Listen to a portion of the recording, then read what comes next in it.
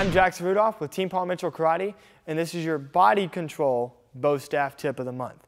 Another very difficult concept to understand with bo is how to isolate your body from the motion of the bo. I'm sure many of you have seen kids that will do strike combos, and the strike combos will look like this.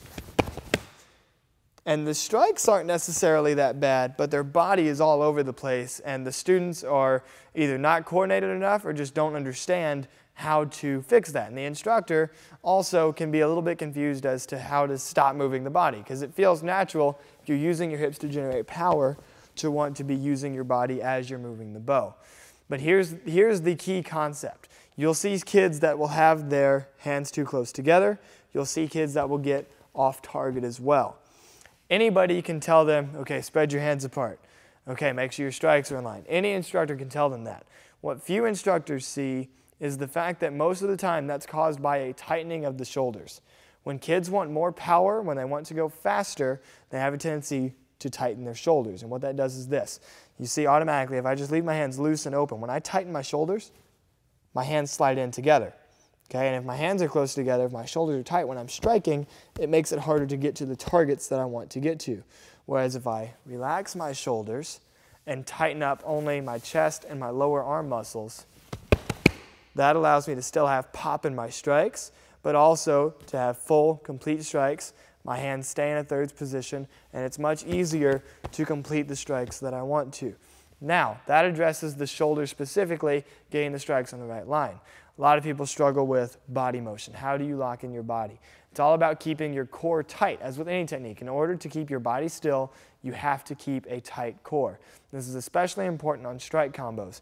If my core is not tight, my stance has a tendency to go to here instead of here.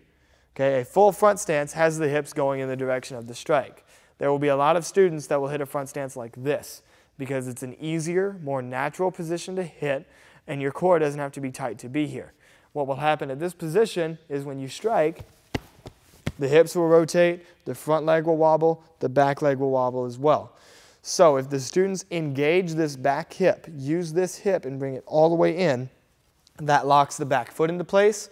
This leg has to be extended and it locks the core into place so that everything stays in one spot as you're striking.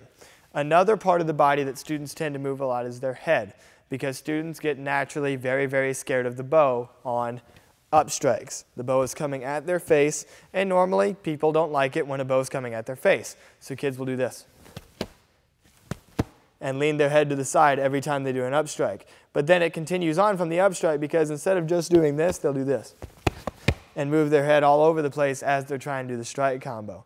The best way to do this is to take them through it slow. Have them work on looking in the mirror and isolating their head. If the student looks in the mirror, in order to see themselves, they can't be moving their head around. So if you had them look in the mirror, take it nice and slow so they know the bo is not going to hit them, that will eliminate the head motion and you gradually get faster and faster so the students get more and more comfortable with the bo going next to their head but not actually hitting them. So head motion, uh, shoulder tightness, and core strength are going to be the three biggest things when it comes to being able to keep your body in the correct striking position.